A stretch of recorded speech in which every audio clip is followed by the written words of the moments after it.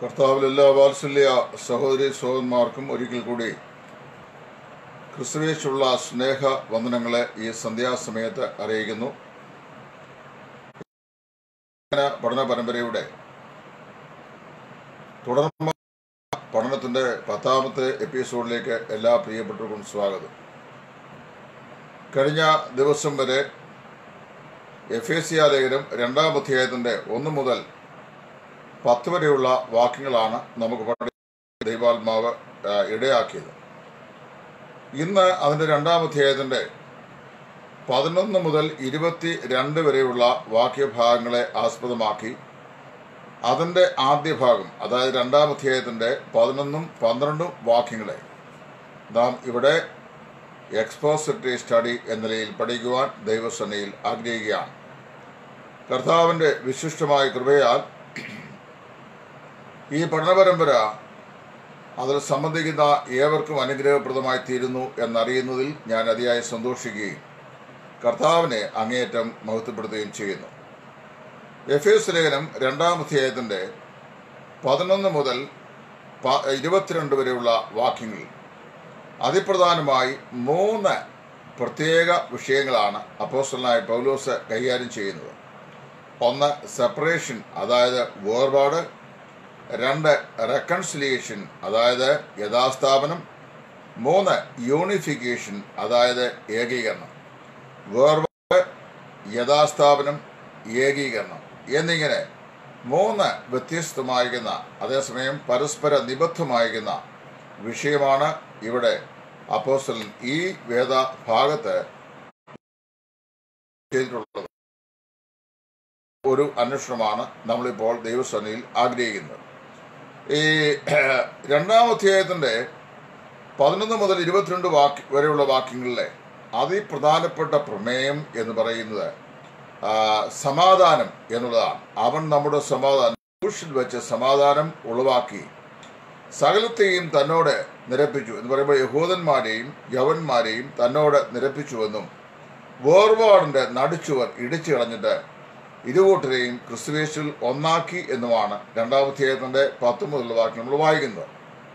അവിടെ വായിക്കുമ്പോൾ ഈ ലോക ചരിത്രം വിശ്വത്തിന്റെ ചരിത്രം നമ്മൾ വിശകലനം ചെയ്യുമ്പോൾ നമുക്ക് മനസ്സിലാക്കാൻ കഴിയുന്ന ഏറ്റവും അതിപ്രധാനമായ ഒരു വിഷയം.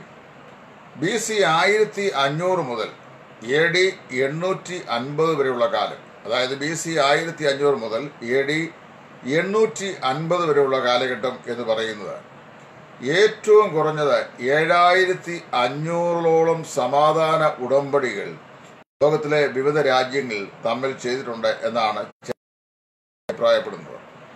എന്നാൽ ആ എല്ലാ സമാധാന ഉടമ്പടികളും ഒരു നിലയിൽ അല്ലെങ്കിൽ വേറൊരു നിലയിൽ ഒരു പരാജയത്തിൽ പര്യവസാനിച്ചു. എന്നാൽ കർത്താവായ യേശു ക്രിസ്തുവിൽ ദൈവം നിത്യ നിയമത്താൽ സ്ഥാപിതമാക്കിയ ആ ക്രൂശിലെ സമാധാനമാണ് വാസ്തവത്തിൽ നിലനിൽക്കുന്ന ഒരു സമാധാന ഉടമ്പടിയായി ഈ ലോകത്തിൽ കാണുന്നത്. ടൈം ലൈനിലുള്ളവർ ഇതൊന്ന് ഷെയർ ചെയ്യണം എന്ന് പ്രത്യേകം ഓർപ്പിക്കുന്നു. എന്നാൽ ലോകത്തിലെ എല്ലാ സമാധാന ഉടമ്പടികളും അതായത് ഏഴായിരത്തി അഞ്ഞൂറിലധികം സമാധാന ഉടമ്പടികൾ ബി സി ആയിരത്തി അഞ്ഞൂറ് മുതൽ എ ഡി എണ്ണൂറ്റി അൻപതിലുള്ള കാലഘട്ടങ്ങളിൽ വിവിധ രാജ്യങ്ങൾ തമ്മിൽ ഉണ്ടായിട്ടുണ്ട് എങ്കിൽ ആ മാക്സിമം ആ സമാധാന ഉടമ്പടിയുടെ നിലനിൽപ്പ് നിലനിൽപ്പെന്ന് പറയുന്നത് രണ്ട് വർഷക്കാലമായിരുന്നു. അതിനപ്പുറത്ത് ഒരു സമാധാന ഉടമ്പടിയും എവിടെയും നിലനിന്നിട്ടില്ല. എന്നാൽ കർത്താവ് യേശു ക്രിസ്തു തന്റെ വിശുദ്ധ രക്തം നമുക്ക് വേണ്ടി ക്രൂശിമേ ചൊരിഞ്ഞ് തന്റെ രക്തത്താൽ സ്ഥാപിച്ച പുതിയ നിയമം അല്ലെങ്കിൽ ആ സമാധാനത്തിന്റെ ഉടമ്പടി അത് മാത്രമാണ് ശാശ്വത ശാശ്വതമായ വിശുദ്ധ ബൈബിൾ വെളിച്ചത്തിൽ നമുക്ക് മനസ്സിലാക്കുവാൻ സാധിക്കുന്നു. അത് മനസ്സിൽ വെച്ചുകൊണ്ട് വേണം ഞാൻ ഈ ഭാഗം ഇപ്പോൾ പറയുമ്പോൾ നിങ്ങൾ ഈ വേദഭാഗത്തെ വിലയിരുത്തുവാൻ. എഫ് എസ് ലേഖനം രണ്ടാം അധ്യായത്തിന്റെ പതിനൊന്ന് മുതൽ അതിന്റെ പന്ത്രണ്ട് വരെയുള്ള വാക്യങ്ങൾ. ഇതിന്റെ ആദ്യത്തെ പത്ത് വാക്യങ്ങൾ ഞാൻ ഓർപ്പിച്ച പോലെ അപ്പോസ്റ്റലായ പൗലൂസ് പാപികളുടെ രക്ഷ എന്ന് പറയുന്ന വിഷയത്തെ പൊതുവായി അവിടെ വിശകലനം ചെയ്യായിരുന്നു. അല്ലെങ്കിൽ the salvation of sinners in a general sense. അതാണ് രണ്ടാം അധ്യായത്തിന്റെ ഒന്ന് മുതൽ പത്ത് വരെയുള്ള വാക്യങ്ങൾ അപ്പോസ്റ്റലൻ പറയുന്നത്.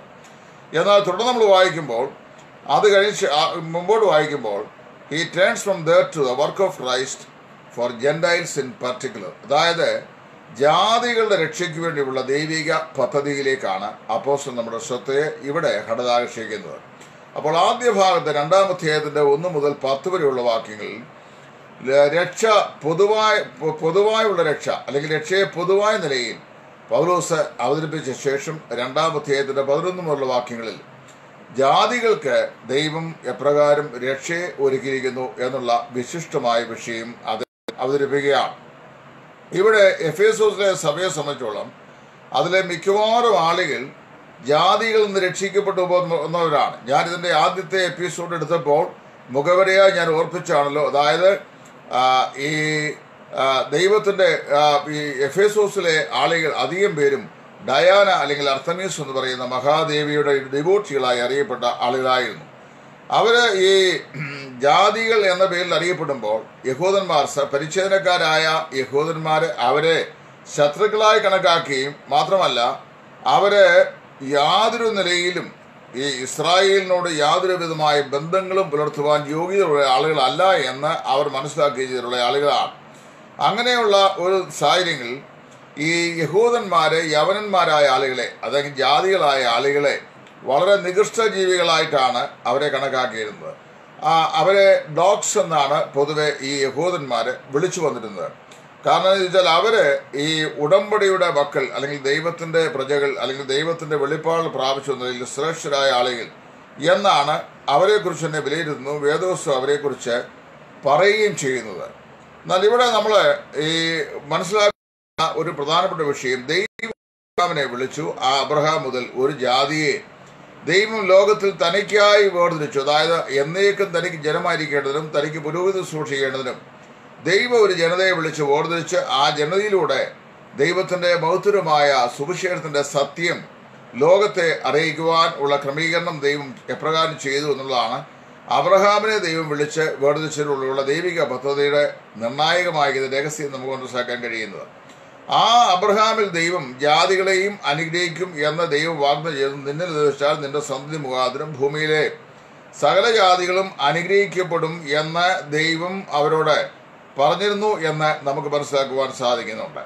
എന്നാൽ ഇവിടെ നമ്മുടെ ഇന്നത്തെ ജാതികളുടെ Salvi in particular to the Gentiles അതായത് ജാതികളോട് ജാതികളുടെ രക്ഷ എന്ന് പറയുന്ന വിഷയമാണ് ഇന്ന് നമുക്ക് പ്രധാനമായും പഠിക്കുവാനായിട്ടുള്ളത്. അതുകൊണ്ട് ഈ ജാതികളെ സംബന്ധിച്ച് ഇസ്രായേലിൽ അതായത് യഹൂദന്മാര് അവരെ ഏത് വിധം പരിഗണിച്ചു പോകുന്നു അല്ലെങ്കിൽ അവരെ കണക്കാക്കി പോകുന്നു എന്നുള്ളത് നമുക്ക് അല്പമായിട്ടും ചിന്തിക്കേണ്ടതായിട്ടുണ്ട്. ഇവരെ മൊത്തത്തിൽ പറഞ്ഞു കഴിഞ്ഞാൽ നമുക്ക് പറയാം ദേവർ പീപ്പിൾ വിത അതായത് യാതൊന്ന് കൂടാതെയുള്ള ആളുകൾ എന്നാണ് വാസ്തുവിനെ പറയാൻ കഴിയുന്നത്. ഇവിടെ ചില കാര്യങ്ങൾ വിശ- വിശദീകരിച്ചിട്ടുണ്ട്. അതൊന്നും ഇല്ലാത്തവരാണ് ഈ ജാതി എന്നാണ് പറയുന്നത്. ഇവിടെ വിവരിച്ചിരിക്കുന്ന കാര്യങ്ങളെല്ലാം ഇസ്രായേലിനോടുള്ള ബന്ധത്തിലാണ് യഹൂദനോടുള്ള ബന്ധത്തിലാണ്. യഹൂദന് യഥാ യാഥാസ്ഥിതികമായി അവകാശപ്പെടാൻ കഴിയുന്ന അവകാശങ്ങളൊന്നും ഇല്ലാത്ത ഒരു പറ്റം ആളുകൾ. അതുകൊണ്ടാണ് അവരെ പീപ്പിൾ വിതൗട്ട് എന്ന് ജനറലി പറയുവാൻ ഇടയായിത്തീരുന്നത്. ഇവിടെ അതായത് ഇസ്രായേൽ പാളയത്തിന്റെ വെളിയിൽ നിൽക്കുന്ന ആളുകൾ ഡോക്സ് അതായത് ജെൻഡൈൽസ് എന്നാണ് അവർ പൊതുവെ ട്രീറ്റ് ചെയ്യപ്പെട്ടു വന്നത്. ഇവിടെ ആദ്യമായി ഇവരെ കുറിച്ച് പറയുന്നത് ഒന്ന് രണ്ട് മൂന്ന് നാല് അഞ്ച്. അഞ്ച് കാര്യങ്ങൾ ഞാൻ ഇവിടെ നോട്ട് ചെയ്തിട്ടുണ്ട് ഈ വാക്കിൽ നിന്ന്. അതായത് how these people were treated as people without അതായത് ഈ പാളയത്തിന് പുറത്തുള്ള ആളുകളായി ഇവരെ ഏത് നിലയിൽ ഇസ്രായേലിയർ പരിഗണിച്ചു വന്നു എന്നുള്ളതിലേക്ക് അഞ്ച് വ്യക്തമായ തെളിവുകൾ അപ്പോസ്റ്റൽ ഈ വാക്യങ്ങൾ പറഞ്ഞിട്ടുണ്ട്. ഒന്നാമത് പറയുന്നത് they were people without Christ അതായത് അവർ ക്രിസ്തുവിനെ കൂടാതെ ഉള്ളവർ ആയിരുന്നു. കർത്താവായ യേശു ക്രിസ്തുവിനെ കൂടാതെയുള്ള ആളുകളായിരുന്നു ഈ ജാലികളായ ആളുകൾ. എഫേസോസിലെ ആളുകൾ എഫേസോസിലെ സാങ്കല്പിക പ്രതിഷ്ഠയായിരുന്ന അർത്തമീസ് ദേവത അതായത് ഈ ഡയാനയുടെ ആരാധ്യ ആരാധകരായിരുന്നു എന്നുള്ളത് നമുക്ക് ഈ സാധിക്കുന്നുണ്ട്. പ്രവർത്തിയുടെ പുസ്തകം പത്തൊമ്പതാം അധ്യായം അതിന്റെ ചരിത്രപരമായ വിവരണം നമ്മുടെ മുമ്പാകെ അവതരിപ്പിക്കുന്നുണ്ട്. അങ്ങനെയുള്ള ഈ ആളുകൾ സുവിശേഷം കേൾക്കുവാനുള്ള സാധ്യത അന്നത്തെ കാലത്ത് വളരെ വിരളമാണ്. അങ്ങനെ സുവിശേഷം കേട്ട് രക്ഷിക്കപ്പെടാനുള്ള സാധ്യതയൊന്നുമില്ലാത്ത ആളുകളാണ്. അപ്പോൾ വാസ്തവം പറഞ്ഞു കഴിഞ്ഞാൽ ഈ എഫേസോസിലെ ക്രിസ്തു രഹിതമായ ജീവിതമുള്ള ഈ ആളുകളുടെ ജീവിത ഭാവി എന്ന് പറയുന്നത് ഒരു ട്രാജഡി തന്നെയാണ് കാരണം അവരെ ഈ ദ്യോവിൽ നിന്ന് വീണ ക്ഷേത്രപാലക എന്ന് വിശ്വസിക്കപ്പെടുന്ന ഒരു സാങ്കല്പിക ദേവതയുടെ ഡിബോട്ടികളായി സമർപ്പിച്ചിട്ടുള്ള ആളുകളാണ്. അങ്ങനെ വരുമ്പോൾ വാ- വാസ്തവത്തിൽ യാതൊരു നിലയിലുള്ള ക്രിസ്തീയ ബന്ധവും ഈ ആളുകൾക്ക് കർത്താവുമായിട്ടില്ല. കാര്യം അവർ യേശു ക്രിസ്തുവിനെ കുറിച്ച് ആ നിലയിൽ കേട്ടുവരില്ലല്ലോ. പൗലോസാണ് പട്ടണത്തിൽ ആദ്യമായി ചെന്ന കർത്താവായ യേശു ക്രിസ്തുവിനെയും ക്രിസ്തുവിൽ കൂടിയുള്ള രക്ഷയെയും അവർക്ക് പ്രസ്താവിക്കുന്നത്. അങ്ങനെ വരുമ്പോൾ ഇവർ അവർ വാസ്തവത്തിൽ ഈ പീപ്പിൾ വിതൗട്ട് അതായത് പാളയത്തിന് പുറത്തുള്ള ആളുകൾ അല്ലെങ്കിൽ ജാതികളായ ആളുകൾ ക്രിസ്തുവില്ലാത്ത ആളുകൾ എന്ന് അവരെക്കുറിച്ച് വളരെ വ്യക്തതയോടുകൂടെ ആ ഭാഗത്ത് പറഞ്ഞിട്ടുണ്ട്. അപ്പോൾ ഒന്ന് അവർ ക്രിസ്തുവിനെ കൂടാതെയുള്ളവർ. ജീവിതത്തിൽ യേശു ക്രിസ്തു ഇല്ലാത്തൊരവസ്ഥയിലാണ് മനുഷ്യനെങ്കിൽ അവന്റെ ജീവിതം എന്ന് പറയുന്നത് വാസ്തവത്തിൽ നഷ്ടപൂർണമാണ് അല്ലെങ്കിൽ കഷ്ടപൂർണവും നഷ്ടപൂർണവുമാണ്. ആ യേശു ക്രിസ്തുവിനെ അറിയാത്തവരായതുകൊണ്ട് ക്രിസ്തുവിന്റെ രക്ഷാമാർഗത്തെ മനസ്സിലാക്കാൻ കഴിയാത്തവരായതുകൊണ്ട് അവരെക്കുറിച്ച് രണ്ടാമത് പറയുന്ന വിഷയം they were people without citizenship അതായത് ഇസ്രായേൽ പൗരതയോടെ യാതൊരു ബന്ധവും ഇല്ലാത്ത ആളുകൾ എന്താണ് ഇസ്രായേലിന്റെ പൗരെന്ന് പറയുന്നത്? ദൈവം അബ്രഹാം വെച്ച് അബ്രഹാം മുഖാന്തരമായി ഒരു ജനതയെ ബില്ലപ്പ് ചെയ്യുകയാണ്. അങ്ങനെ ബില്ലപ്പ് ചെയ്യുമ്പോൾ ആ ജനതയോട് മുതലാണ് ദൈവം തന്റെ അനുഗ്രഹങ്ങളും തന്റെ നിയമങ്ങളും എല്ലാം അവർക്കാണ് നൽകിയത്. അത് വളരെ വ്യക്തമായി നമ്മൾ സംഗീതത്തിൽ വായിക്കുന്നുണ്ട്. ഈ ആ ജനത്തിന് ജീവിതം ചെയ്തപോലെ ലോകത്തിലെ ഒരു ജാതികൾക്കും അവൻ അങ്ങനെ ചെയ്തിട്ടില്ല എന്ന് പറഞ്ഞു കഴിഞ്ഞാൽ ദൈവത്തിന്റെ കൽപ്പനകൾ ചട്ടങ്ങൾ വിധികൾ പ്രമാണങ്ങൾ ദൈവത്തെക്കുറിച്ചുള്ള വെളിപ്പാടുകൾ സ്വർഗത്തെക്കുറിച്ചുള്ള വെളിപ്പാടുകൾ ഇതെല്ലാം ദൈവം വെളിപ്പെടുത്തി കൊടുത്തത് ഇസ്രായേൽ ജനതയ്ക്കാണ്. മറ്റ് യാതൊരു ജാതിക്കും അങ്ങനെ കൊടുത്തിട്ടില്ല. ഇവിടെ ഞാനൊരു വാക്കൂടെ അധികമായി പറയാൻ ആഗ്രഹിക്കുന്നു. ഈ കാലഘട്ടമൊക്കെ വന്നു കഴിഞ്ഞപ്പോൾ ഈ എക്സ്ട്രാ ബിബ്ലിക്കൽ റെവല്യൂഷന് കുറച്ച് പ്രാധാന്യം നൽകി. കൂടെ ക്രൈസ്തവികതയിലേക്ക് ആകർഷിക്കാം എന്ന് വെച്ചുകൊണ്ട് കുറച്ച് സൂത്രങ്ങൾ ഉപയോഗിക്കുന്ന ധാരാളം പ്രസംഗരെയൊക്കെ നമുക്ക് കാണാൻ സാധിക്കുന്നുണ്ട്. But I tell you very firmly that there is no extra biblical revelation to അതായത് കർത്താവായ യേശു ക്രിസ്തു ഈ ക്രിസ് ക്രിസ്തു ഈ ബൈബിളിലൂടെ അല്ലാതെ വേറെ പാടുകളും ദൈവം തന്നെ കുറിച്ച് ബൈബിളിലെ ദൈവം തന്നെ കുറിച്ച് നമുക്ക് നൽകിയിട്ടില്ല. Other than what he has revealed himself through the universe അതായത് പ്രപഞ്ചത്തിൽ പ്രപഞ്ചത്തിലൂടെ ദൈവം തന്നെത്താൻ നൽകിയിട്ടുള്ള വെളിപ്പാടുകൾ ഒഴികെ മറ്റ് യാതൊരു മതഗ്രന്ഥങ്ങളിൽ കൂടെയും അല്ലെങ്കിൽ മതാചാര്യന്മാരിൽ കൂടെയും ദൈവം ബൈബിളിലെ ദൈവം തന്നെക്കുറിച്ച് യാതൊരു വെളിപ്പാടും നമുക്ക് നൽകിയിട്ടില്ല. അതുകൊണ്ട് വേദപുസ്തകം എന്ന് പറയുന്നത് യുണീക്ക് ആയിട്ടുള്ള റൈറ്റിംഗ് ആണ്. അതായത് നിസ്തുല്യമായിരുന്ന ഒരു രേഖയാണ് വെളിപ്പാടാണ്. അതിനെ അതിന് അതിനോട് തുലനം ചെയ്യാൻ കഴിയുന്ന വേറെ ഒരു സീക്രട്ട് ഗ്രന്ഥങ്ങളും ഭൂമിയിൽ ഇല്ല. കാരണം that is the only book in which God has revealed himself to mankind മനുഷ്യവർഗത്തിന് താൻ ദൈവം വെളിപ്പെടുത്തിയിട്ടുള്ള ഏക വിശുദ്ധ ഗ്രന്ഥമാണ് വിശുദ്ധ ബൈബിൾ. അതുകൊണ്ട് നമ്മൾ എക്സ്ട്രാ ബിബ്ലിക്കൽ റെവലേഷൻ അംഗീകരിക്കുന്നില്ല. അതുകൊണ്ട് ഇവിടെ വായിക്കുന്നു ഈ ആളുകളെ ജാതികളെ കുറിച്ച് പറയുകയാണ് ദേവർ വിതൗട്ട് ക്രൈസ്റ്റ് അവർ ക്രിസ്തുവിനെ കൂടാതുള്ളവരാണ് രണ്ട് ദേവർ വിതൗട്ട് സിറ്റിസൺഷിപ്പ് അവർ എന്തില്ലാത്തവരായിരുന്നു? പൗരത്വം ഇല്ലായിരുന്നു ഇസ്രായേൽ പൗരത്വം ഇല്ലാത്ത ആളുകളായിരുന്നു. ദൈവം അബ്രഹാമിനെ വിളിച്ചു ഉൽപ്പത്തി പുസ്തകം പന്ത്രണ്ട്. ഞാൻ നിന്നെ വലിയൊരു ജാതിയാക്കും എന്ന് പറഞ്ഞു. ഞാൻ നിന്നെ സന്തതികളുള്ളവരായി അനുഗ്രഹിക്കുമെന്ന് പറഞ്ഞു.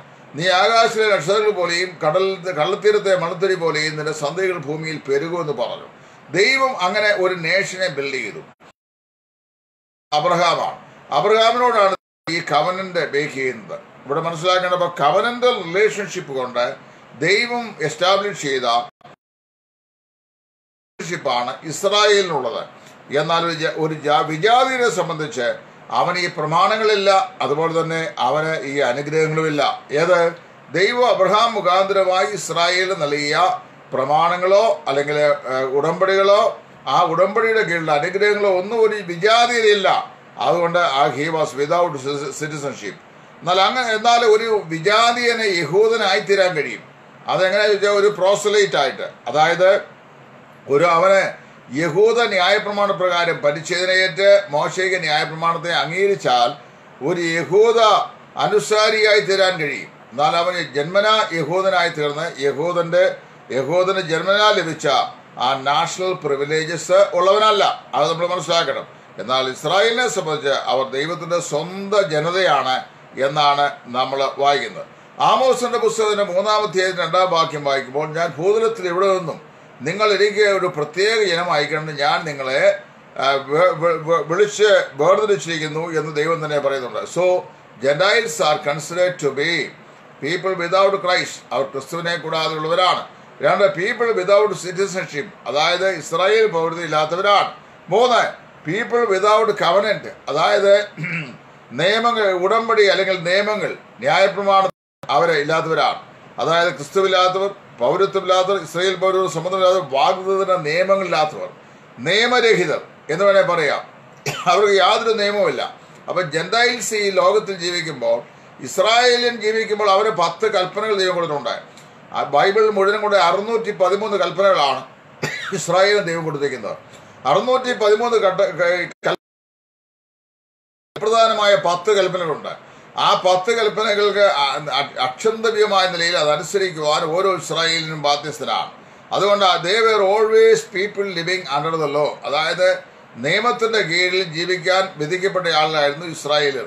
But as for Gentiles concern that they were not under any law അവർക്ക് യാതൊരു നിയമവുമില്ല നിയമരഹിതമായ ജീവിതശൈലി വേവാർഡ് വേവാർഡ് ജീവിതശൈലി നയിച്ച ആളുകളാണ് ജെൻഡൈൽസ് അവിടെ പറയാണ് ദേവർ പീപ്പിൾ വിതൗട്ട് കവനൻസ് അവർക്ക് യാതൊരു നിയമവുമില്ല ഉൽപ്പത്തി പുസ്തകം പന്ത്രണ്ടാം അധ്യായത്തിന്റെ ഒന്ന് മുതൽ മൂന്ന് വരെയുള്ള വാക്കുകളാണ് ദൈവം അബ്രഹാമിനോട് ഒരു ഉടമ്പടി ചെയ്ത ഒരു നിയമം അവന് കൊടുക്കുന്നത്. അവിടെ വായിക്കുന്നത് അവ അവിടെ നമ്മൾ വായിക്കുമ്പോൾ ഈ ജാതായ അന്യരായി പരദേശികളായി യാതൊരു ബന്ധവുമില്ലാത്തവരായിട്ടാണ് വിശുദ്ധ ബൈബിൾ നമുക്ക് കാണുവാനായിട്ട് കഴിയുന്നത്. അതുകൊണ്ട് ഈ പരീക്ഷന്മാർ നിരവധി ആളുകളും അവർ പ്രാർത്ഥിക്കുന്ന സമയത്ത് നമ്മൾ വായിക്കുന്നുണ്ട് ഞാൻ ഒരു വിജാതീയനല്ലായികയാൽ ഞാൻ അങ്ങയെ വാഴ്ത്തുന്നു എന്നവരുടെ പ്രാർത്ഥനയിൽ സാധാരണ പറയുമായിരുന്നു യഹൂദന്മാരുടെ ന്യായപ്രമാണത്തിന്റെ വ്യാഖ്യാന ഗ്രന്ഥമായിരുന്ന താൽമൂതികളിൽ ഈ പരീക്ഷന്റെ പ്രാർത്ഥന ആ നിലയിൽ രേഖപ്പെടുത്തിയിട്ടുണ്ട്. അദ്ദേഹം പ്രാർത്ഥിക്കാൻ ദൈവം പറയും ഓ Lord I thank you for that I am not a gentile ഞാനൊരു ജാതീയനല്ലാതെയാൽ അതായത് ഞാനൊരു വിജാതീയൻ ആകിയാൽ അല്ല വിജാ വിജാതീയനല്ലായകയാൽ ഞാൻ അങ്ങേക്ക് സ്തോത്രം ചെയ്യുന്നു എന്നാണ് സാധാരണയായി ഒരു യഹോൻ പറയുന്നത്. അപ്പം മൂന്ന് കാര്യങ്ങൾ പറഞ്ഞത്. ഈ ജെൻഡായിൽസ് അതായത് ജാതികളെ സംബന്ധിച്ച് ദേവർ പീപ്പിൾ വിതൗട്ട് ക്രൈസ്റ്റ് ക്രിസ്തുവിനെ കൂടാതെയുള്ളവർ രണ്ട് പീപ്പിൾ വിതൗട്ട് സിറ്റിസൺഷിപ്പ് അതായത് ഇസ്രായേൽ പൗരത്വത്തിൽ അവകാശമില്ലാത്തവർ മൂന്ന് പീപ്പിൾ വിതൗട്ട് കവനൻസ് അതായത് നിയമമില്ലാത്തവർ നിയമരഹിതർ. നാല് പീപ്പിൾ വിതൗട്ട് ഹോപ്പ് അതായത് പ്രത്യാശയില്ലാത്തവർ. ലോകത്തിലെ മനുഷ്യനെ എന്തെല്ലാം സംഗതികളില്ലെങ്കിലും ജീവിക്കാൻ സാധിക്കും. ഉദാഹരണം പറഞ്ഞു കഴിഞ്ഞാൽ ഓക്സിജൻ ഇല്ലായെങ്കിൽ മൂന്ന് മിനിറ്റ് വരെ മനുഷ്യന് ജീവിച്ചിരിക്കാമെന്നാണ് ആധുനിക വൈദ്യശാസ്ത്രം പറയുന്നത്. മൂന്ന് മിനിറ്റ് കഴിഞ്ഞു കഴിഞ്ഞാൽ ബ്രെയിനിലേക്കുള്ള ഓക്സിജൻ സപ്ലൈ ലഭിക്കാതെ വരുമ്പോൾ ബ്രെയി ബ്രെയിനിലെ മൈക്രോ സെൽ സെൽ സെല്ലുകൾ പൊട്ടുകയും അവിടെ വെച്ച് സെറിബറൽ ഹെമറേജ് ഉണ്ടാകുകയും ആൾ മരിച്ചു പോവുകയും ചെയ്യും. അപ്പോൾ ഒരു മൂന്ന് മിനിറ്റ് വരെ മാക്സിമം ഓക്സിജൻ ഇല്ലാതെ മനുഷ്യൻ ജീവിക്കാൻ കഴിയും. നാൽപ്പത് മുതൽ അറുപത് ദിവസങ്ങൾ വരെ ആഹാരം കഴിക്കാതെ മനുഷ്യൻ ജീവിക്കാൻ കഴിയുമെന്ന് ഭൂകമ്പം സുനാമി മുതലായ പ്രകൃതിക്ഷോഭങ്ങൾക്ക് ഇരയായി തീർന്ന കെട്ടിടങ്ങളുടെ അവശേഷങ്ങളിലും മറ്റും പിന്നീട് കണ്ടെത്തിയിട്ടുള്ള ജീവനുള്ള ആളുകളുടെ ജീവിതം കൊണ്ട് സാക്ഷിക്കപ്പെടുന്നു. വെള്ളമില്ലാതെ മനുഷ്യന് പതിനാല് ദിവസം വരെ ജീവിക്കാൻ കഴിയും. അപ്പോൾ ആഹാരം കൂടാതെ അൻപത് മുതൽ അറുപത് ദിവസം വരെയും അതുപോലെ ആവശ്യമില്ല. കാര്യം അവർ നാൽപ്പത് ദിവസം ഉപസിക്കുന്നവരാണ് പറയുന്നത് അപ്പൊ ആഹാരം കൂടാതെ ഒരു നാൽപ്പത് മുതൽ അറുപത് ദിവസം വരെയും വെള്ളം കൂടാതെ ഏഴ് മുതൽ പതിനാല് ദിവസം വരെയും പ്രാണവായു കൂടാതെ മൂന്ന് മിനിറ്റ് സമയം വരെയും നമുക്ക് ജീവിക്കാൻ കഴിയും. പക്ഷേ ആശയില്ലാതെ വന്നു കഴിഞ്ഞാൽ ഒരു നിമിഷം പോലും ജീവിക്കാൻ പല ആളുകളും തങ്ങളുടെ ജീവിതത്തിൽ നിരാശ അവരെ ബ്രൂഡ് ചെയ്യുമ്പോൾ അവൾ പല ആളുകളും ചെയ്യുന്ന കണ്ടെത്തുന്ന ഒരു വഴി മാർഗമാണ് ആത്മഹത്യ. ചില കയറിൽ തൂങ്ങുന്നു ചിലർ ട്രാൻസ്ഫോമറിൽ പിടിക്കുന്നു ചിലർ വിഷം കഴിച്ച് മരിക്കുന്നു മറ്റു ചിലർ ട്രെയിനിന്റെ അടിയിൽ തലവയ്ക്കുന്നു അങ്ങനെ നിരവധി മറ്റു ചിലർ ഡ്രഗുകൾക്ക് അടിമപ്പെട്ട് ഓവർഡോസ് എടുത്ത് അങ്ങനെ ചാകുന്നു. പല മാർഗങ്ങൾ. സീസൈഡ് ഇസ് ആത്മഹത്യ ഒരു പ്രശ്നങ്ങളുടെയും അന്തിമമായ പരിഹാര മാർഗമല്ല. അത് ആദ്യം മനസ്സിലാക്കണം. അപ്പൊ ഇവിടെ ജീവിക്കാനായിട്ട് ഇനി സാധിക്കില്ല എന്നൊരു തോന്നൽ മനുഷ്യന്റെ ജീവിതത്തിൽ ഉണ്ടാകുമ്പോൾ അവൻ ഒടുവിലായി ചെയ്യുന്ന പ്രവൃത്തിയാണ് ജീവനെ ഹനിക്കുക. അതായത് ഇനി ജീവിതം വേണ്ട എന്ന് തീരുമാനിക്കുന്നത്. വിതൗട്ട് ഹോപ്പ് പറയുന്നത് പ്രത്യാശയില്ലാത്തവർ ജാതികൾ പ്രത്യാശയില്ലാത്തവരായിരുന്നു എന്നാണ്. പ്രത്യാശയില്ലാത്ത ഒരു ലോക ജീവിതത്തിൽ പ്രത്യാശയില്ലാത്ത ജീവിതം നയിച്ച പത്രകാരന്മാര് പറയുന്നു അതായത് വളരെ വ്യക്തമായി ചരിത്രകാരന്മാർ ലോകത്തിന്റെ ചരിത്രത്തെ വിശകലനം ചെയ്യുക പറയുന്നു there was a long period in the history of this world that people had no glimpse of hope അതായത് പ്രത്യാശയുടെ ഒരു സ്ഫുരണം പോലും ഇല്ലാത്തൊരവസ്ഥയിൽ ദീർഘകാലം മനുഷ്യവിടെ ഇവിടെ ആയിരുന്ന ചരിത്രമാണ് കഴിഞ്ഞ കാലങ്ങളിൽ ഭൂമിക്കുള്ള ചരിത്രം എന്ന് പറയുന്നു. തത്വശാസ്ത്രികളായ ആളുകൾ മതത്തിന്റെ ആചാര്യന്മാരായ ആളുകൾ തത്വചിന്തകന്മാര് മതാചാര്യന്മാര് മതമീമാംസകൾ സാമൂഹ്യ പരിഷ്കർത്താക്കൾ പിന്നെ മനഃശാസ്ത്ര വിദഗ്ധർ ഇവരൊക്കെ ഈ ഭൂമിയുടെ വിവിധ ഏടുകളിൽ ചരിത്രത്തിന്റെ വിവിധ ഏടുകളിൽ ജീവിച്ചിരുന്നവരായിരുന്നു എങ്കിലും അവരൊക്കെ ഒന്നായി സാക്ഷിക്കുന്ന ഒരു കാര്യം ഇതാണ്. ലോകം പ്രത്യാശയില്ലാത്ത ഒരു സാഹചര്യത്തിൽ വിറങ്ങലിച്ചു നിന്ന ഒരു കാലഘട്ടമുണ്ട്. അതുകൊണ്ടാണ് ഈ ഗ്രീസിലെ ഏതൻസിന്റെ രാജവീതിയിലൂടെ പട്ടാപ്പകൽ ഉദിച്ചു ഉയർന്ന തലയ്ക്ക് മീതെ നിൽക്കുന്ന പകലോന്റെ പ്രകാശ ഭൂമിയെ പ്രകാശിപ്പിക്കുന്ന നട്ടുച്ച സമയത്ത് ഡയോജിനീസ് എന്ന് പറയുന്ന ഒരു താത്വികൻ കത്തുന്ന ഒരു റാന്തൽ എടു- എടുത്ത് അദ്ദേഹത്തിന്റെ തലയിൽ വെച്ചുകൊണ്ട് ഗ്രീസിലെ ഏതൊരു തെരുവിൽ കൂടെ വെളിച്ചം എവിടെ വെളിച്ചം എവിടെ എന്ന് അന്വേഷിച്ചുകൊണ്ട് അദ്ദേഹം നെടുകയും കുറുകയും ഓടി. അദ്ദേഹത്തെ കണ്ട ആളുകൾ പലരും അദ്ദേഹത്തോട് നിങ്ങൾക്ക് എന്ത് സംഭവിച്ചു? സൂര്യൻ ഉദിച്ച് തലയ്ക്ക് മീതെ ഉയർന്നു നിൽക്കുന്ന ഈ പട്ടാപ്പകൾ നട്ടുച്ച നേരത്തെ കത്തുന്ന റാന്തൽ തലയിൽ വെച്ചുകൊണ്ട് നിങ്ങൾ തെരുവീതിയിലൂടെ അങ്ങോട്ടും ഇങ്ങോട്ടും വെളിച്ചം എവിടെ ചോദിച്ചാൽ നിങ്ങളുടെ സുബോധം നഷ്ടപ്പെട്ടു പോയതായിരിക്കുമോ എന്ന് പല ആളുകളും അദ്ദേഹത്തോട് ചോദിച്ചു അദ്ദേഹം പറഞ്ഞു എനിക്ക് സുബോധമൊക്കെ ആവശ്യമുള്ളതുണ്ട് ഞാൻ അന്വേഷിക്കുന്ന ഈ പകലോന്റെ പ്രകാശധാരയല്ല. മറിച്ച് പാപത്താൽ അന്ധകാരാവൃതമായി ആശയറ്റ് നിരാശയുടെ നെടുത്തളത്തിൽ നെടു പ്രത്യാശയില്ലാത്ത ഈ ലോകത്തിന് വെളിച്ചം പകരുവാൻ കഴിയുന്ന ഒരു സ്വർഗീയ പ്രകാശം അതായത് പാപത്തിന്റെ അന്ധകാര നിബിഡമായിരിക്കുന്ന ഹൃദയാന്തർഭാഗത്തേക്ക് മനുഷ്യനെ ചെന്ന് കണ്ടെത്തുവാൻ കഴിയുന്ന ഒരു പ്രകാശധാരയെ. അതായത് സൂര്യപ്രകാശിയല്ല. നേരെ മറിച്ച് നീതി സൂര്യന്റെ പ്രകാശയാണ് ഞാൻ അന്വേഷിക്കുന്നതെന്ന് ഡയോജിനീസ് അന്നോട് പ്രഖ്യാപിക്കുകയുണ്ടായി. സാരവിതാണ് ഗതകാല ചരിത്രം സസൂക്ഷ്മം അപഗ്രഹിച്ചു കഴിഞ്ഞാൽ ഒരു സത്യം നമുക്ക് മനസ്സിലാക്കാൻ കഴിയും. There was a great length of period in the history of man without hope അതായത് പ്രത്യാശയുടെ ഒരു സ്ഫുരണം പോലും അവശേഷിക്കാതെ ആശയറ്റവരായി നിരാശിതരായി നിരാലംബരായി ഇരുട്ടിൽ മറഞ്ഞ് ജീവിച്ച ലോകത്തിന്റെ ഒരു ചരിത്രമാണ് ചരിത്രകാരന്മാരെ നമുക്ക് ചൂഴ്ന്നെടുത്ത് ഗതകാലത്തിന്റെ ഏടുകളിൽ നിന്ന് നമുക്ക് നൽകുന്നത്. സോ ദേവർ ജാതികൾ ക്രിസ്തുവിനെ കൂടാതെയുള്ളവർ ഇസ്രായേൽ പൗരത്വമില്ലാത്തവർ വാഗ്ദത്തിന്റെ നിയമങ്ങൾക്ക് അന്യർ അതായത് നിയമങ്ങളുടെ വിധേയ വിധേയത്വമില്ലാത്തവർ പ്രത്യാശയില്ലാത്തവർ. അടുത്ത് വായിക്കുന്നത് മറ്റൊരു വാക്കാണ്. അതായത് വിതൗട്ട് ഗോഡ് ദൈവമില്ലാത്തവർ. അത് ഒരു പ്രധാനപ്പെട്ട ചിന്തയാണ്. ജാതികൾക്ക് എന്തില്ല ദൈവമില്ല. അവർ എങ്ങനെയും ജീവിക്കുക. കാര്യം അവരുടെ എപ്പിക്കൂരിയ സ്റ്റോയിക്ക് മതങ്ങളെ കുറിച്ചൊക്കെ നമ്മൾ പഠിച്ചിട്ടുണ്ട്. എന്തായിരുന്നു അവരുടെ ആപ്തവാക്യവും തത്വശാസ്ത്രവും എന്ന് അറിയാമോ? തിന്നുക കുടിക്കുക ആനന്ദിക്കുക നാളെ ചാകുമല്ലോ എന്ന് പറഞ്ഞാൽ there is no life after death അതുകൊണ്ട് ഈ ഭൂമിയിലുള്ളതെല്ലാം ഇവിടെ വെച്ച് അനുഭവിക്കാനുള്ളവയാണ് തിന്നുക കുടിക്കുക ആനന്ദിക്കുക. നാളെ ചാകുമല്ലോ. അതാണ് എപ്പിക്കൂരിനിസം അല്ലെങ്കിൽ സ്റ്റോയിക്കിനിസം എന്ന് പറയുന്നത്. അപ്പോൾ ഇങ്ങനെയുള്ള തത്വശാസ്ത്രമൊക്കെ ആ കാലഘട്ടത്തിൽ വളരെ പ്രബലമായിരുന്നു. ആ കാലഘട്ടങ്ങളിൽ ഈ പ്രബല പ്രബലമായി നിലനിന്നുകൊണ്ട് ഈ തത്വശാസ്ത്രത്തിന്റെ പ്ര- പ്രോക്താക്കൾ എന്ന് പറയുന്നത് ഈ ദൈവ പ്രത്യാശയില്ലാത്ത ക്രിസ്തുവില്ലാത്ത സിറ്റിസൺഷിപ്പ് ഇല്ലാത്ത അതുപോലെ തന്നെ നിയമങ്ങളില്ലാത്ത ഈ ജാതികളായ ആളുകളായിരുന്നു. അവർ ദൈവമില്ലാത്തവരുമായിരുന്നു. ദൈവമില്ലാത്തെന്ന് പറയുമ്പോൾ പ്രത്യേകം മനസ്സിലാക്കണം. എഫ് എസോസുകാർ അപ്പോസ്റ്റൻ പറയുന്നത് നിങ്ങൾ ദൈവമില്ലാത്തവരായിരുന്നു. അതേസമയത്ത് എഫ് എസോസിലെ അവർ ഡയാന എന്ന് പറയുന്ന അല്ലെങ്കിൽ അർത്തമീസ് ദേവിയുടെ ഭക്തരായി ദൈവ ആരാധിച്ചു വന്ന ആളുകളാണ്. ജാതികളുടെ ദേവന്മാരെ ആരാധിച്ചു വന്ന ആളുകളാണ്. പ്രവർത്തിയുടെ പുസ്തകം അതിന്റെ പതിനേഴാം അധ്യായ അപ്പോസ്റ്റലായ പോലൂസ് പറയുമ്പോൾ താൻ ഏതൻസിൽ ചെല്ലുന്ന സമയത്ത് പട്ടണം മുഴുവൻ വിഗ്രഹങ്ങളെ കൊണ്ട് നിറഞ്ഞിരുന്നു എന്നാണ് വായിക്കുന്നത്. പുരാതന ചരിത്രകാരന്മാർ അഭിപ്രായപ്പെടുന്ന മുപ്പത്തി മൂന്ന് കോടി ദേവീ ദേവന്മാരുടെ അരാജകത്തുകൊണ്ട് ഏതൻസിന്റെ തെരുവീതികൾ നിറഞ്ഞിരുന്നു എന്നാണ്. അതാണ് പൗലൂസ് പറയുന്നത് ഞാൻ നിങ്ങളുടെ പൂജാഗിരികളെ ചുറ്റിത്തിരിഞ്ഞപ്പോൾ എന്റെ മനസ്സ് ചൂടുപിടിച്ചു. എങ്ങനെ? വിഗ്രഹങ്ങളെ കൊണ്ട്. അവിടെ മുപ്പത്തിമൂന്ന് കോടി ദേവി ദേവസങ്കല്പങ്ങളുടെ പ്രതിഷ്ഠകളുണ്ട്.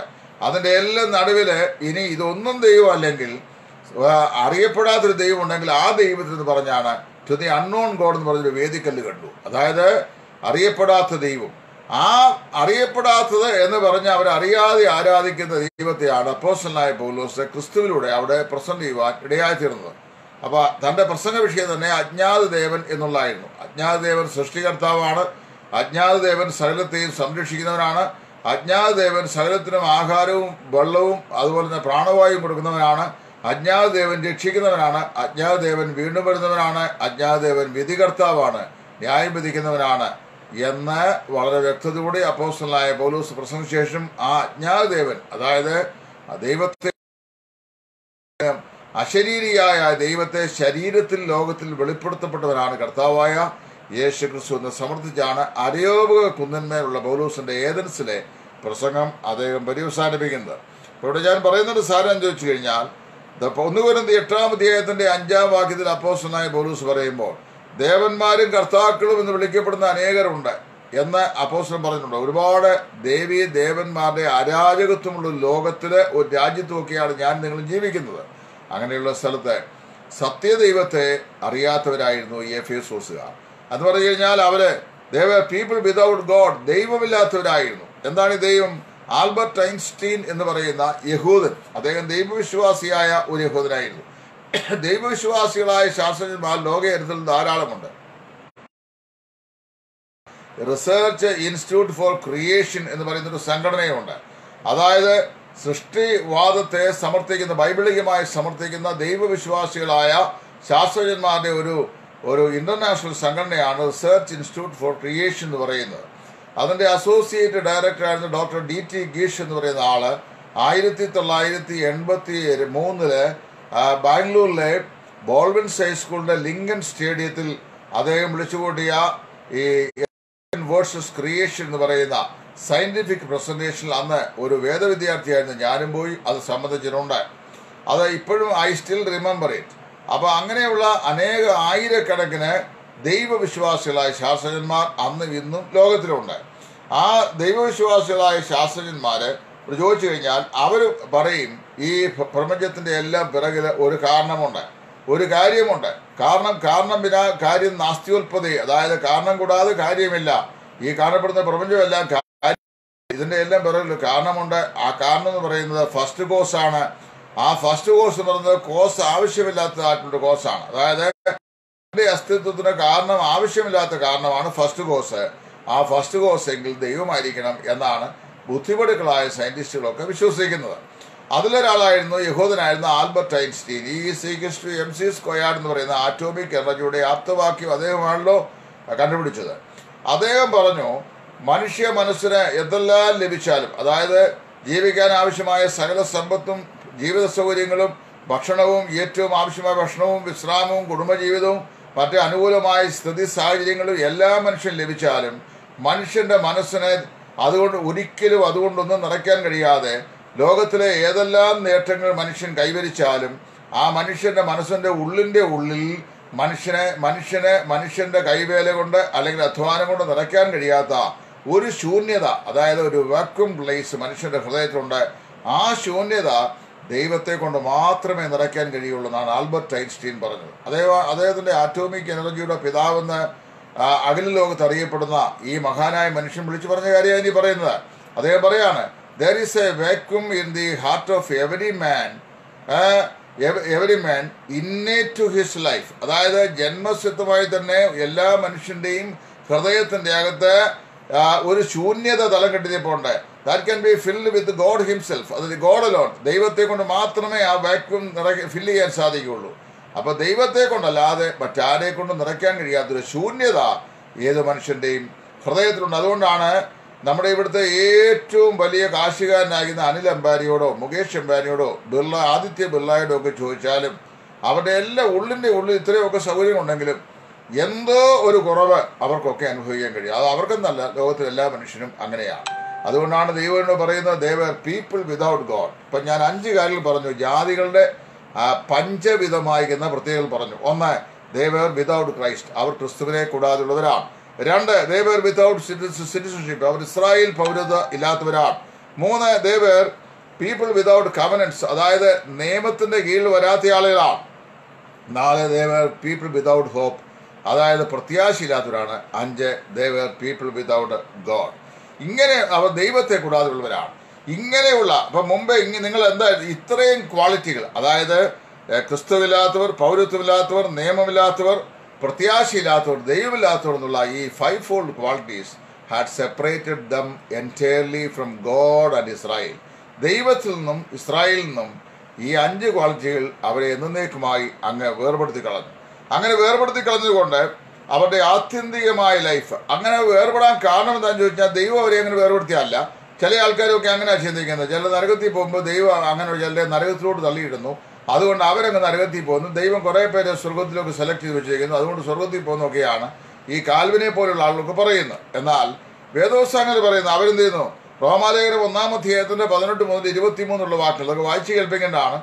പക്ഷേ ഇവിടെ എനിക്ക് ഈ ഷോർട്ട് വീഡിയോയിൽ സാധിക്കുകയില്ല. അവിടെ നമ്മൾ വായിക്കുന്നത് അവർ ദൈവത്തെ അറിഞ്ഞിട്ടും അവൻ അവൻ ദൈവം നന്ദി കാണിക്കുകയോ ചെയ്യാതെ തങ്ങളുടെ നിരൂപണങ്ങളിൽ വ്യർത്ഥരായി തീർന്നു എന്നാണ്. എന്ന് പറഞ്ഞാൽ they were separated only because they had rejected themselves unto the salvation അതായത് ദൈവത്തിന്റെ രക്ഷ അവർക്ക് സ്വായത്തമാക്കുവാൻ കഴിയാതെ വിധം അവർ തന്നെ ദൈവത്തെ അങ്ങ് നിരാകരിച്ചു. അവർ ദൈവത്തെ ഓർ ദൈവത്തെ അറിഞ്ഞിട്ടു. എന്ന് പറഞ്ഞാൽ അവരുടെ ഭൗതിക മണ്ഡലത്തിൽ ഒരു ദൈവമുണ്ടെന്ന് അവരറിഞ്ഞു എങ്ങനെ അറിഞ്ഞു? There is a general revelation പത്തൊമ്പതാം സംഘടന ഒന്നാം വാക്യം വായിക്കുന്നു. ആകാശം ദൈവത്തിന്റെ മഹത്വത്തെ വർണിക്കുന്നു. ആകാശവിധാനം അവന്റെ കൈവേലയെ പ്രസിദ്ധമാക്കുന്നു എട്ടുമ്പോൾ നിന്റെ വിരലുകളുടെ അവസ്ഥയും നീ ഉണ്ടാക്കിയ ഈ നക്ഷത്രങ്ങളെയും നോക്കുമ്പോൾ മർത്തിനെ നീ ഓർക്കേണ്ട അവനെന്ത്? മനുഷ്യപുത്രനെ സന്ദർശിക്കേണ്ട അവൻ എന്തുമാത്രം? നീ അവനെ ദൂതന്മാരെക്കാൾ അല്പം മാത്രം താഴ്ത്തി തേജസ്സും ബഹുമാനവും അവനെ അണിയിച്ചു ചുറ്റുപാടുള്ള പ്രപഞ്ചത്തെ നമ്മൾ നോക്കുമ്പോൾ എനിക്ക് വീഡിയോ നീണ്ടുപോകുന്നുള്ള ഭയമുള്ളത് കൊണ്ട് ഞാൻ ചുരുക്കിയാണ്. നമ്മൾ ഈ ആകാശിലേക്കുന്ന സൈമൺ സാർ പാടുമ്പോൾ ആയിരം ആയിരം കോടി വാനഗോളങ്ങളെ താണ്ടി അദ്ദേഹം ജീവിക്കുന്ന കാലത്ത് ഈ ആയിരം ആയിരം കോടി വാനഗോളങ്ങളൊന്നും ശാസ്ത്രം കണ്ടുപിടിച്ചിരുന്നില്ല. അതൊക്കെ നാസയൊക്കെ രംഗത്ത് വന്നതിന് ശേഷമാണ് ബില്യൺസ് ആൻഡ് ട്രില്യൺസ് ഓഫ് ഈ ഗ്ലോബ്സ് ഈ ഈ അറ്റ്മോസ്ഫിയറിൽ ഉണ്ട് എന്ന്. അല്ലെങ്കിൽ ഈ ഈ ശൂന്യാകാശത്തിൽ സ്ഥിതി ചെയ്യുന്നുള്ളതൊക്കെ കണ്ടുപിടിച്ചത്. പക്ഷേ അദ്ദേഹം ഭക്തനായ മനുഷ്യൻ അത് എഴുതിയപ്പോൾ ആയിരം ആയിരം കോടി വാനഗോളങ്ങളെ താണ്ടി പോയിടുന്നതിൻ മാർഗം ഊഹിക്കാവതോ എന്ന് പാടി. അപ്പൊ ആയിരം ആയിരം കോടി വാനഗോളങ്ങൾ കിടക്കുകയാണ് ഈ വാനഗോളങ്ങളുടെ ഒക്കെ സ്റ്റഡീസ് ഇപ്പോഴത്തെ ഫിസിക്സിന്റെ ട്വൽത്ത് സ്റ്റാൻഡേർഡ് പിള്ളേർക്ക് നന്നായിട്ട് അറിയാം. എന്നുവെച്ചാൽ each globe has its own orbit ഓരോ ഗ്ലോബും അതിന്റെതായ ഓർബിറ്റിലാണ് സ്ഥിതി ചെയ്യുന്നത്. രണ്ട് ആ ഓർബിറ്റിലാണ് അത് സഞ്ചരിക്കുന്നത്. അതിന് കൃത്യമായ ഒരു സഞ്ചാരപാതയും കൃത്യമായിരുന്നൊരു വെലോസിറ്റി ഒരു വേഗതയുമുണ്ട് സ്പീഡുമുണ്ട് പിന്നെ അതിന് അതിന് സ്വയംസിദ്ധമായി ഉണ്ടായ ഒരു ചലനാത്മകതയുണ്ട് അങ്ങനെ ഓരോന്നും പരസ്പരം ഇടിക്കാതെ കൂട്ടിമുട്ടാതെ തകരാതെ അതാതിന്റെതായി നിർണയിക്കപ്പെട്ട സഞ്ചാരപഥത്തിൽ അതാണ് യോബ് ന്യൂസിൽ വായിക്കുമ്പോൾ കാർത്തികയുടെ ചങ്ങല നിനക്കറിയാമോ? അറിയാമോ മകയിരത്തിന്റെ രാശിയെ നിർണയിച്ചിട്ടുണ്ടോ എന്നൊക്കെ ചോദിക്കുമ്പോൾ ഈ കാർത്തിക മകയിരം എന്നൊക്കെ പറയുന്ന നക്ഷത്രങ്ങൾക്കല്ല അതിന്റെ സഞ്ചാരപാതയുണ്ടെന്നും അതിന് അതിന്റെതായിട്ടുള്ള ചലനാത്മകത ഉണ്ടെന്നും ഒക്കെയായി വിളിച്ച് പറയുന്നത് യോബ്. അത് ബി സി രണ്ടായിരത്തി എടുത്ത കാലത്ത് അദ്ദേഹം എഴുതി പറഞ്ഞ കാര്യം അന്ന് അദ്ദേഹത്തിന് വെളിപ്പെടുത്തി കൊടുത്തത്.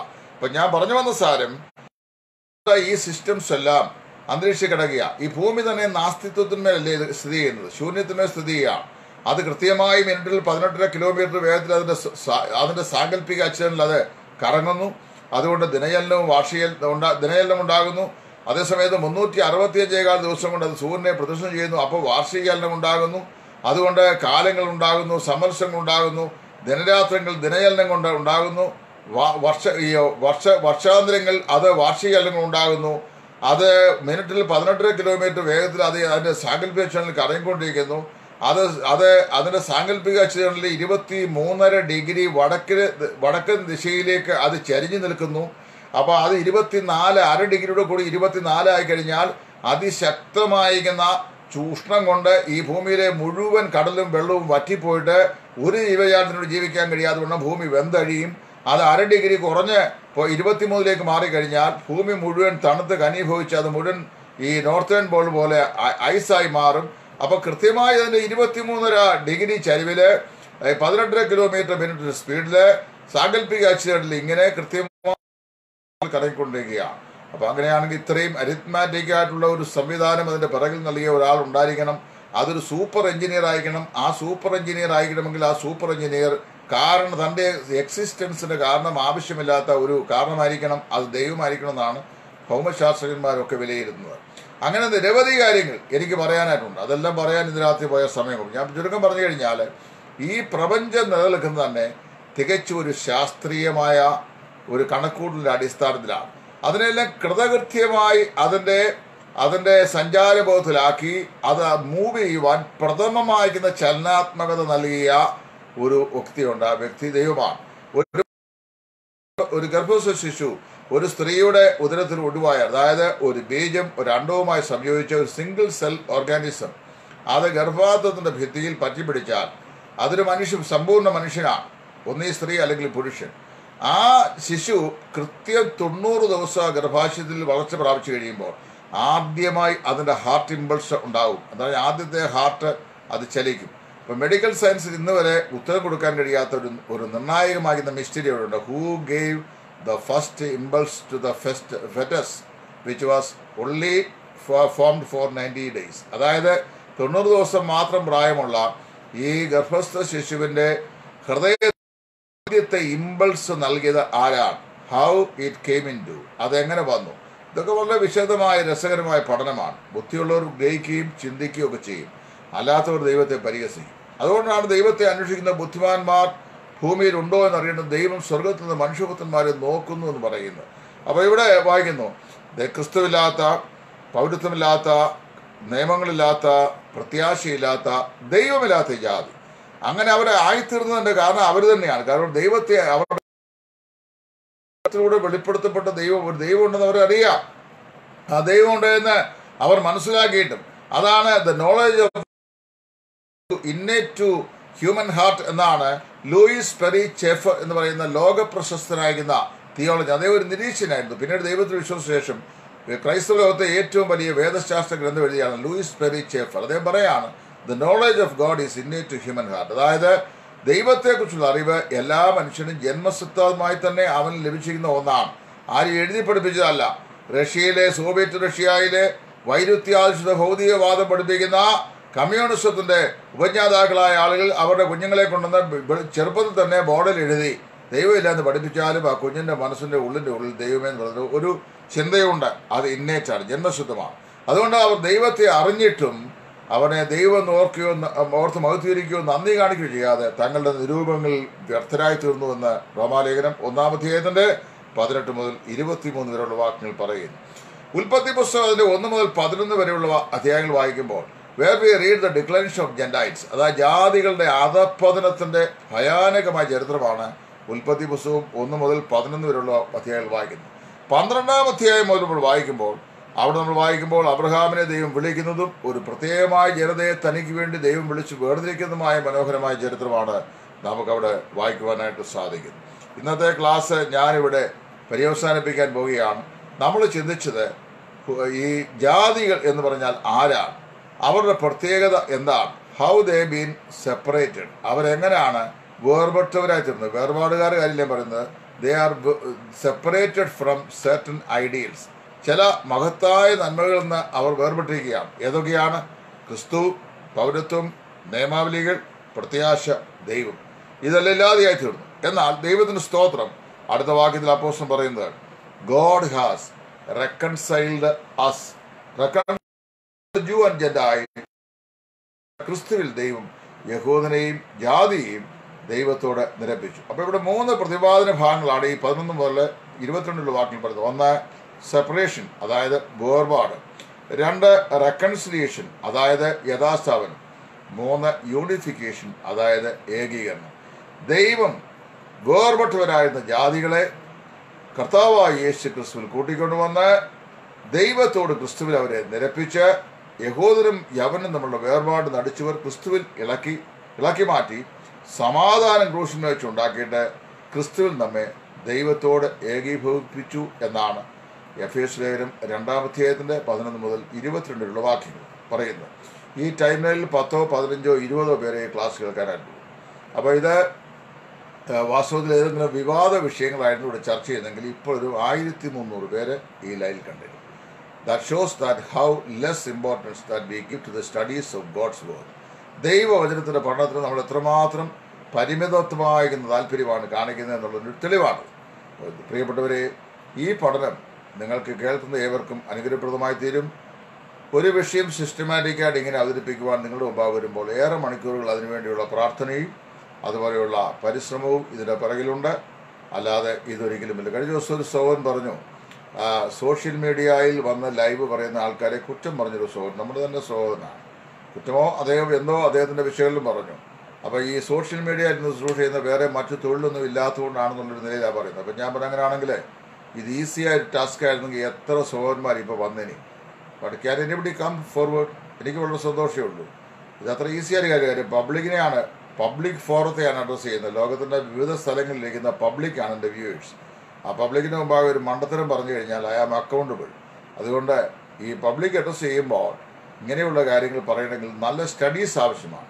ഇപ്പം before I present you forty five minutes message or study subjects I prepare a lot how to present it നന്നായിട്ട് അതിന്മേൽ അത്യുത്വാനം ചെയ്തിട്ടാണ് ഈ വിഷയം അവതരിപ്പിക്കുന്നത്. സോഷ്യൽ മീഡിയയിൽ വന്ന് ഒരു ചെയറിന് മുമ്പാകെ സ്റ്റുഡിയോയിൽ ഇരുന്ന് എന്തെങ്കിലും കാര്യങ്ങൾ പറയുന്നത് അത്ര ഈസിയായ ടാസ്ക്കാണ് നിങ്ങൾ ചിന്തിക്കുന്നെങ്കിൽ it is not just like the secular employment where you are engage with നിങ്ങൾ ചെയ്യുന്ന ജോലിയിൽ നിങ്ങൾക്ക് പ്രാവീണ്യത കാണും. നിങ്ങൾ ചെയ്യുന്ന അതേ ജോലിയിൽ നിങ്ങൾക്കുള്ള പ്രാവീണ്യതയോ അതിനേക്കാൾ അല്പം കൂടെ കൂടിയ പ്രാവീണ്യതയോ എന്റെ ജോലിയിൽ എനിക്കുണ്ട്. എന്റെ ജോലി എന്ന് പറഞ്ഞാൽ സുവിശേഷ വിലയാണ്. അതുകൊണ്ട് ഞാൻ അത് ചെയ്യുന്നു. നിരവധി ആൾക്ക് ഇപ്പോൾ ഇത് ഞാനിപ്പോൾ ക്ലോസ് ഡൗൺ ചെയ്ത് കഴിഞ്ഞാൽ ഇപ്പോൾ രാത്രി ഒരു പതിനൊന്ന് മണിക്കുള്ളിൽ ഒരു പത്ത് കോളെങ്കിലും എനിക്ക് കാണും. ആൾക്കാർ ഇതിന്റെ സംശയം ചോദിക്കാൻ വേണ്ടി വിളിക്കുന്നതാണ്. I am happy that I share my the concern with my all explanations from time to time അങ്ങനെ കൊടുത്ത ശേഷമാണ് ഞാൻ രാത്രി കിടന്നുറങ്ങുന്നത് നിങ്ങളെ എല്ലാവരെയും ദൈവം അനുഗ്രഹിക്കട്ടെ. ജാതികൾ എപ്രകാരം ദൈവത്തിൽ നിന്ന് വേർപെട്ടവരായി തീർന്നു. അവർക്ക് എഫ് എസ് ലേൻ രണ്ടാമത്തേതിന്റെ പതിനൊന്ന് പന്ത്രണ്ട് വാക്യങ്ങൾ ഏതെല്ലാം നിലുള്ള വിശേഷ നാമങ്ങളാണ് അപ്പോസ്റ്റലായ പൗലൂസ് നൽകിയിരിക്കുന്നത് എന്നാണ് ഇന്ന് രാത്രി നമ്മൾ പഠിച്ചത്. കർത്താവ് വെച്ചാൽ വ്യാഴാഴ്ച രാത്രി വീണ്ടും നമുക്ക് ഒന്നിച്ച് കാണാം. കർത്താവ് ഒരുപാട് താമസിക്കുകയും ഈ എളിയവനായ ഞാൻ ഭൂമിയിൽ ജീവിച്ചിരിക്കുകയും ചെയ്യുകയും അനുകൂല സാഹചര്യം ഉണ്ടാവുകയും ചെയ്താൽ വീണ്ടും കാണാം. How God reconcile the Gentiles in Christ unto God അതായത് ദൈവം ക്രിസ്തുവിൽ ജാതികളെ ദൈവത്തോട് നിരപ്പിച്ചു എന്നുള്ളതായിരിക്കും അടുത്ത ക്ലാസ്സിൽ നമ്മൾ പഠിക്കാൻ പോകുന്നത്. അപ്പോൾ the various aspects of the reconciliation concept അതായിരിക്കും നമ്മുടെ പഠന വിഷയം. ദൈവം എല്ലാവരെയും അത് കേൾക്കുവാൻ സഹായിക്കട്ടെ എന്ന് പ്രാർത്ഥിക്കുന്നു. നിങ്ങൾക്കെല്ലാവർക്കും കർത്താവുള്ള നന്ദിയെ അറിയിക്കുന്നു. ക്രിസ്തുവിന്റെ ശുശ്രൂഷയിൽ എളിയ സഹോദരൻ Suviseshakan Titus from Edayaranmula thank